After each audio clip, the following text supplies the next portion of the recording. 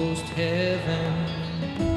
West Virginia, Blue Ridge Mountains. Hi, Grammars. What are you doing here? Your grandma tells me her grandson's some fancy environment lawyer down in Cincinnati. I am a corporate defense attorney. So? I defend chemical companies. Well, now you can defend me. Many did you lose? 190. 190 cows. You tell me nothing's wrong here. It's a small matter for a family friend. Help a guy who needs it. The farmer or you? That's chemicals, I'm telling you. I'm seeing documents I don't understand. They're hiding something. That chemical. What if you drank it? Drank it. It's like saying, what if I swallowed a tire? What if whatever's killing those cows is in the drinking water?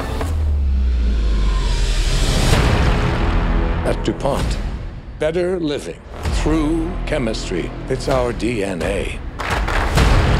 You need to tell me what in the hell's going on. DuPont is knowingly poisoning 70,000 local residents for the last 40 years.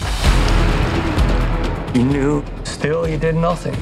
You want to flush your career down the toilet for some cowhand?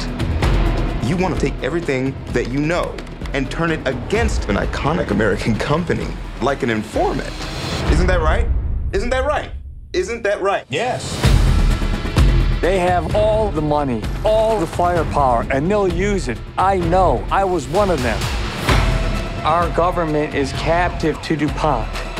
They're trying to force you to make me stop. He was willing to risk his job, his family, for a stranger who needed his help. The system is rigged. They want us to think it'll protect us. We protect us. We do.